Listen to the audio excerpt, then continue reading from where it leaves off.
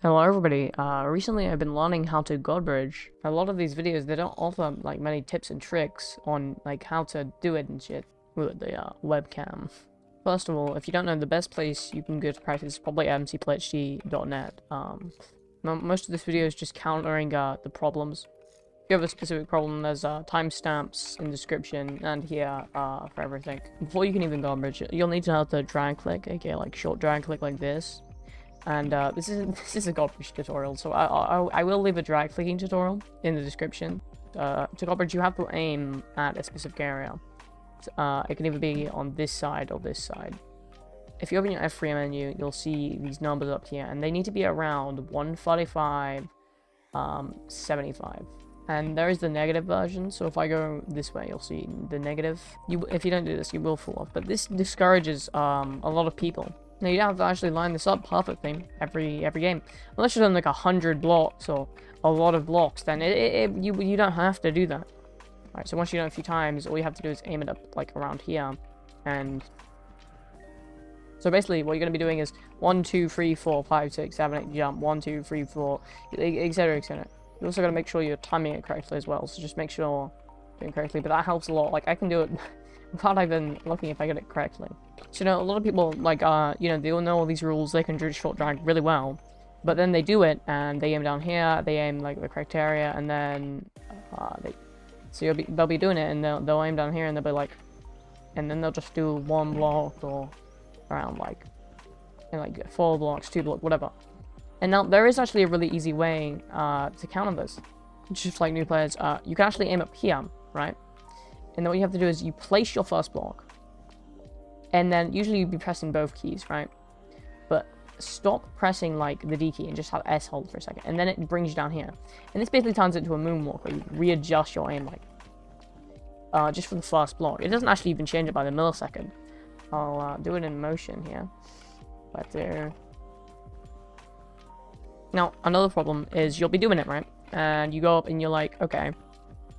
And your, your mouse will start going upwards. So if I I'm trying to get, but like my, my mouse is going to move, right? Now, there's two ways you can count this pretty easily.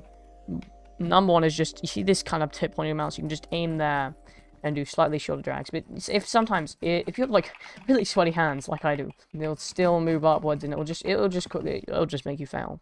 Now there's a very simple way to count this. Just go into your Lunar Client settings, right? Free look. Now free look, basically what it does is it basically makes you be looking at the same block, but thinking, and a fun fact on Lunar is that uh, you can do this in first person. And you're going to set toggle free look on and set it to a key like X or something that you won't accidentally press. And then, look, I'm technically looking that way right now. But, uh, anyways, this is basically just a, a worse version of F5. Uh, but it stops your mouse from moving. And another thing you can do is you could just make a sensitivity on setting on your mouse for zero. So you can press one of these sensitivity keys like here, press that, and then it'll just completely stop. Another thing you can do is you can put tape on the bottom uh, points, like here and here. But uh, yeah, that's just my solution to countering it. So some more settings. Uh, basically, there's a few other things you can do in just your general settings. Uh, if you're going to do sync this view bobbing and dynamic FOV. Dynamic FOV will make it so your FOV increases when you walk. And you can just disable that, but that's more personal preference. But view bobbing. View bobbing will make your mouse bob and your screen bob when you're god bridging. So it'll basically look like this which is very distracting for some people. So just disable that. Anyway, a lot of people use this. Uh, it's called it's called the arrow crosshair. It really helps god bridging because you can line up just perfectly on the specific arrow, and then you know. How do you enable this? You just go into the Lunar Client settings, uh, crosshair, and for reference, they do have 90% of the stuff on Badlion too. Settings, let's just go that. Enable the outline, that really helps. Uh, set, this, set these sliders and set it to arrow.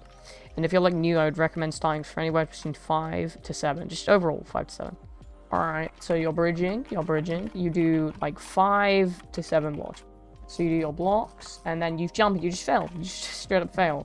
Now this is this is pretty hard to counter.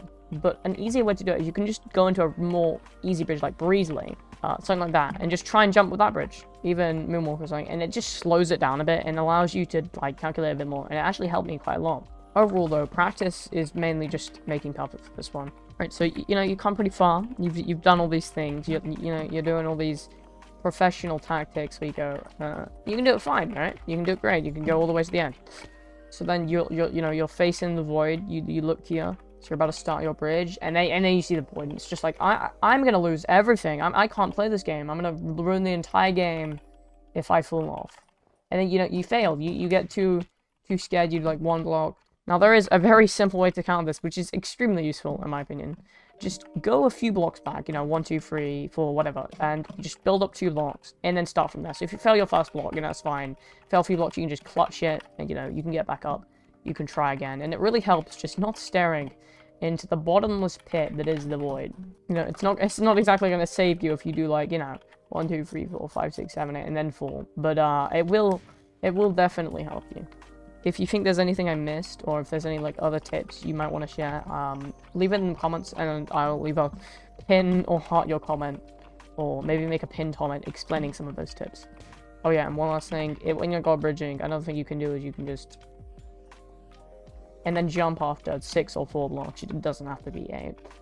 Anyways, uh, I hope you enjoyed, and uh, thank you for what is like almost uh, 50 subscribers. Uh, I appreciate that a lot.